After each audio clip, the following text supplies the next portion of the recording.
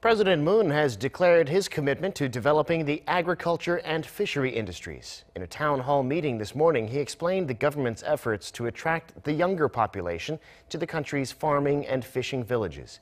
Park Hee-jun has more. Understanding that the agriculture and fisheries industries are still key in South Korea's future, President Moon Jae-in has vowed to develop and transform these sectors. 정부의 농업 정책은 농어민의 정직함과 숭고함에 대답해야 합니다. 정부는 지속 가능한 농중의 가치를 실현하면서 혁신과 성장의 혜택이 고루 돌아가도록 농정의 틀을 과감히 준환하겠습니다.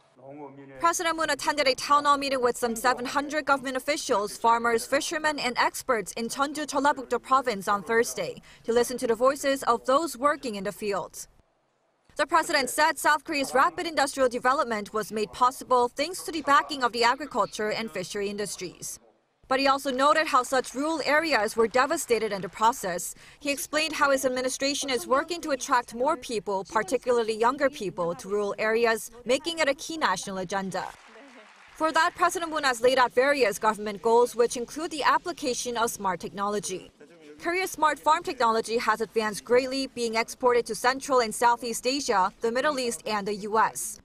But the president plans to expand it to other areas like the livestock and fishery sectors. And by applying it to smaller firms and fisheries, he hopes to raise the industry's competitiveness and make life easier for elderly workers. As part of an on-site tour, President Moon visited a smart cooling house being developed by the Rural Development Administration that allows crops to be grown even when the outside temperatures is above 40 degrees Celsius. This is among the follow-up projects to the South Korea UAE summit in March last year, where the leaders agreed to enhance agricultural cooperation.